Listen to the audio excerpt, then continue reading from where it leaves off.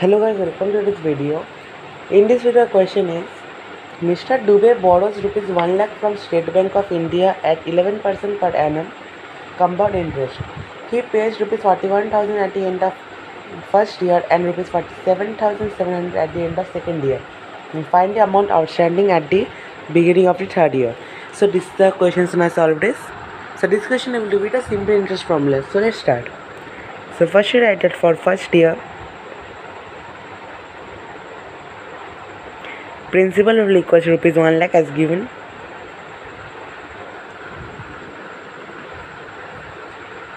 Rate is equal to 11 percent and time will be first year one year. So therefore we write SI for first year.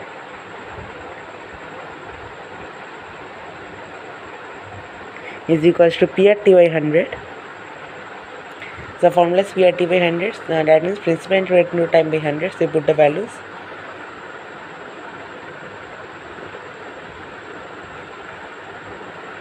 so that means 1 lakh into 11 into 1 by 100 so cut the zeros.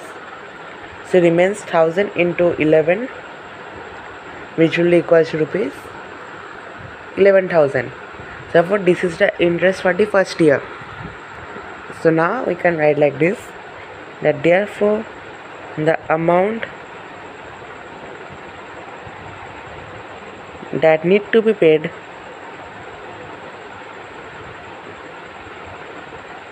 at the end of first year.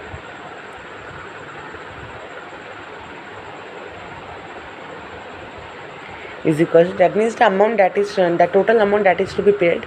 So that is equal to the formula is principal plus SI so principal is 1 lakh plus 11000 which will be equal to rupees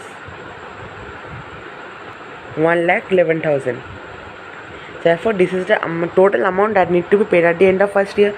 But in the question it is given that at the end of first year rupees 41000 is given. So therefore right? Amount paid is at the end of first year.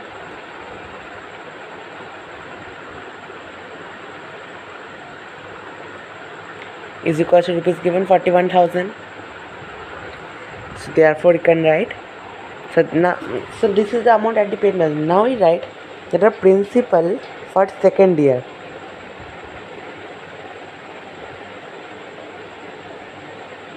The principal for second year for mm, it will be the amount that need to be paid at the end of first year that is 11 1 lakh 11000 minus the amount that is paid at the end of first year that is 41000 so it becomes 11000 1 lakh 11000 minus 41000 which will be equal to rupees? 70000 so therefore this is the principal for the second year. So now you can find find out the interest for the second year. So therefore you can write the SI for second year.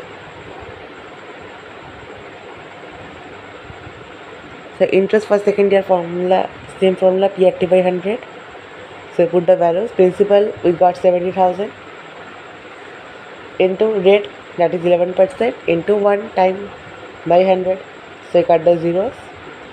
So remains 700 into 11 which will be equal to rupees 7700 so therefore this is the interest for the second year.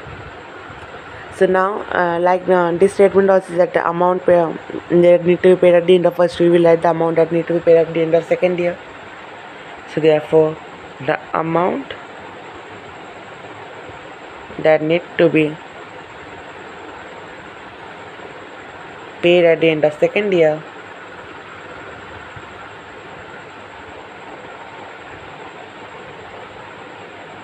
so it is it will be rupee sorry principal plus SI formula so principal is our 70000 plus the SI that is 7700 which will be equal to rupees 77700 so therefore this is the amount total amount that need to be paid at the end of second year. So now in, in the question it is also given that at the end of second year 47700 rupees is given. So therefore we write the amount paid at the end of second year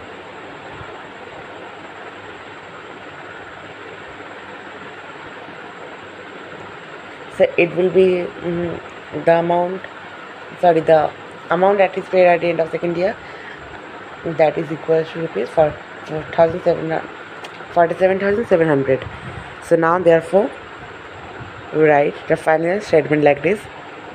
The amount outstanding at the beginning of